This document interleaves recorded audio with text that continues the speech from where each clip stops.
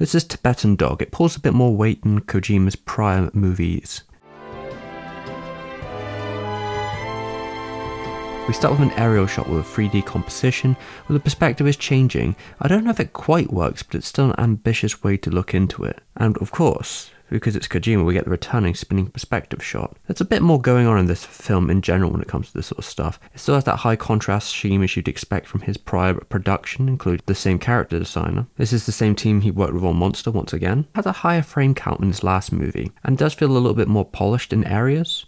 The film itself actually has a quite a specific colour palette as well, with its green fields, sky blue situations, and the golden yellows of the dogs or garments that the characters wear. It makes it have a very particular feel. You're also going to see a lot more digital compositing or digital effects than you'd see in the prior movies from Kojima. These gradient shades with light sources from different places, if it be like the specific hour or time where they shot, or different sort of lanterns, they try and take advantage of that. It's actually a Chinese co production, and they really wanted to show off the side of the culture. This is in itself a fish out of water story about a city boy joining the traditional Tibetan culture.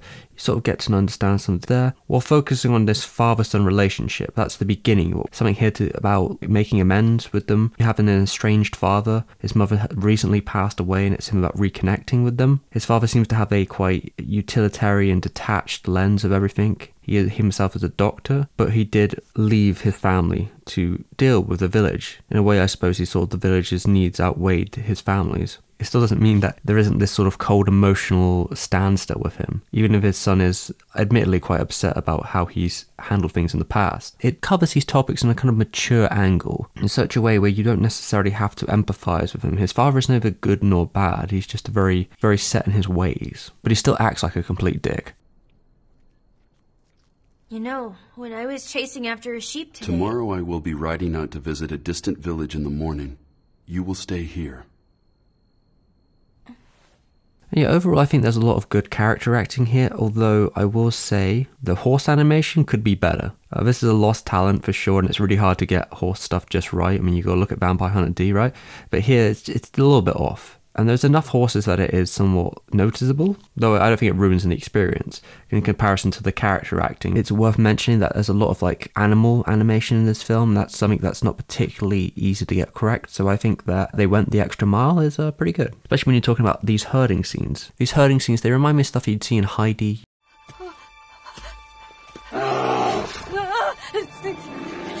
Although I don't think there was as many wolves and bears the black bear attack really highlights something at first to, towards me about the different perspectives in the film. This is where you get introduced to the Tibetan mastiffs, these sort of golden dogs. I assumed at first, honestly, that this was a bit of like hyperbole. Like, there's no way a dog could take on a bear. Is that even possible? But apparently, you know, this is a real breed of dog, and they're some of the biggest and heaviest in the world. They're very protective, and they're used to basically protect livestock, especially at night, with they're let loose just to do what they do. And they can take down some of the fiercest animals, fighting with wolves to leopards to further. So yeah, they may be worth like an afternoon of Wikipediaing or something. Well, the main boy, he seems to be singled out by some of the sort of stereotypical bully characters. It's kind of a repeated faction of the Madhouse pictures, though it doesn't really amount to anything because it's so quickly resolved that uh, you never see them again. The only thing basically saying is an offhand comment. Though I do really like the sort of position here with the boy and the dog narrative, as well as around the idea of trying to understand who his father was. I think these elements work really well as you sort of learn a bit more about the village and its characters. It's quite endearing, although there is a B plot about a murderous creature on the loose that becomes more important as the story goes along. Starting with some bits with the uh, the dog fights, and the fights between them can become quite silly, especially at first, where these two dogs basically almost fall to their death after a bit of a ruckus.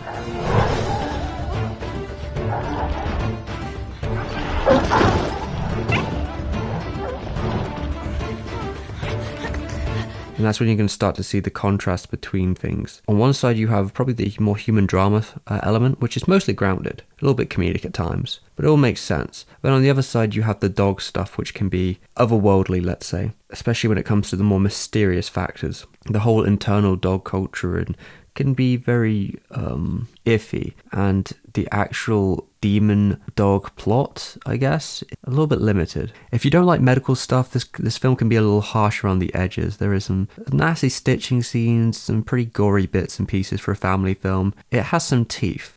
The child still resents me. Uh-huh. I understand. Long ago I made a tough choice to let him and his mother leave. It is something I have had to learn to live with. Doctor? But his anger towards me will only make him stronger. Regardless of how I feel about the father character, some of the stuff he says is pretty messed up. Like, anger towards him only makes him stronger. Who is this guy? Fucking Palpatine? But it does sort of lead you towards uh, the bond between the boy and the dog more so. Although, with these kind of stories, that never ends well. And yeah, and the major appeal is watching them sort of become like these two outsiders introducing themselves into the specific culture of Tibet, which is, yeah, a rarity. You don't tend to see that sort of stuff covered. And this movie was based on books from Yang Zhijun, who is a Tibetan, and a lot of his ideas seem to be inspired by his own father, who spent some fair time living in the mountains as well as himself. So he understands these certain concepts. Say, for example, just like the cultural stuff like butter tea. This one I thought was pretty unique. So it's yak butter, dark tea leaves, and usually two pinches of salt. The colder you live in uh, Tibet, the more salt you tend to get in these teas. The nomadic people drink it because uh, they're outside a lot and it keeps them warm effectively. They need those fatty acids, I guess. Outside of the nomad culture, there is the bandit stuff, which differ from the main tribe but are connected. And that was also a unique look in how they sort of coexist in these places, not affecting how the tribes work, but ending up trying to find passers-by to make a living on a sort of traveling basis. But when the bloodbath sort of killer mystery gets involved, after it being introduced to both these sides of different um, factions, there becomes a tension between them as they start accusing the main characters, Golden Dog, to be the actual killer. Although the ambiguity around this is actually resolved so fast that it probably wasn't worth necessarily bringing up. It does seem like it would have been better off if they'd spent more time trying to make it a little bit more ambiguous just because of how, how it is to be an outsider. But as it goes from here, the B plot pretty much absorbs any of the, the family conflict era and it becomes more of a story about dog vengeance, which is pretty ridiculous, quite frankly. And as an audience, there isn't really a connection we can latch onto here because we've spent so much time trying to get connected to the family of the young boy and how that relates to stuff and his relationship with the dog that when you start hearing about the dog's prior relationships that you have no bearing on, it becomes a bit confusing to actually understand if this conflict is worth much of anything outside of trying to try and clear the dog's name. And this is where it falls into that sort of pure fantasy stuff where this demon creature who's way too big to be a dog, maybe it's some kind of hellish mountain lion, they get into this sort of David and Goliath battle.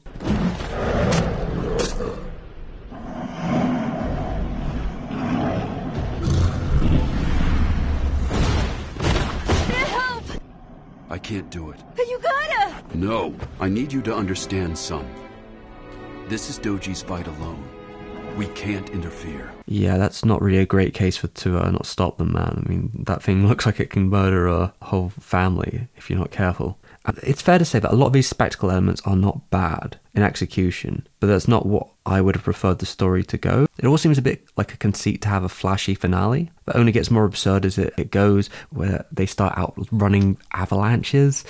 And oh my god, I think it ends as you kind of expect from a dog and boy storyline. Although not without merit, I suppose. The aspirations of the golden dog leave on generations of the uh, the young man's family. There are certainly plenty of beautiful vistas on this setting, and I think you could do worse. Considering it is a Tibet story, those are unique. You don't see them much. Uh, and it's a window into the culture of the an original story. But I do feel two ways about it. That is, it's pretty fascinating. And I would have loved to see this as like a TV show where they spent more time in like that Nippon fashion. Like you just spend a lot of time getting to learn these characters and their sort of internal turmoil. But when it gets to the more corny monster mystery stuff, I don't think it works very well. It's not that interesting, and I think it hampered the general experience of um, my enjoyment. It all felt a bit arbitrary towards the end, like it just needed to happen this way to sort of get the saddest reaction. But it is a pretty well made family animated project with a talented director, and the production is it's definitely smooth. Albeit, I would say I'd recommend the director's prior work before this one. I hear from uh, certain sources that this was Maruyama's last picture at Madhouse before he left, and it's definitely quite a different picture. I appreciate that it was made because of its, unique setting and ideas. In fact, I would have liked to see more if possible, but that's just how it goes, I'm afraid. And it doesn't seem like the cross production garnered much fruit because this is the last time they worked with their Chinese production house. But I guess that's just the way it goes sometimes. You can't win them all. Also, I'm kind of bothered that the father son relationship isn't patched up. It's just sort of this awkward situation. Like a lot of the ending is more like a cliff note, where the main conceit about the boy finding his way to fitting in, or what he's going to do with his future, his relationship with his father, all of that is just sort of steamrolled over in a quick summary towards the end monologue. And then it's so far in the future that it doesn't even seem to um, matter anymore, which is a little jarring, quite frankly. It Would have been nice to see a little bit more of that in the actual film, but I digress. I guess this is the end of the Maruyama Madhouse era. Look forward to the slow decline of Madhouse from now on, I guess. But maybe not in the movies we're going to cover, because there's only two left, and I know at least one of them is good. So tune in next time, where you can like, you can subscribe, you can comment, you can ring the bell if you want to see the, the next couple of episodes.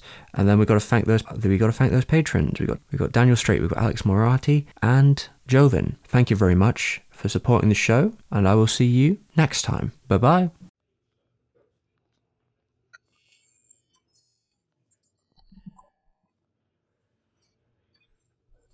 Time to get out, cat. Come on. Come on. You know. Come on. Come on.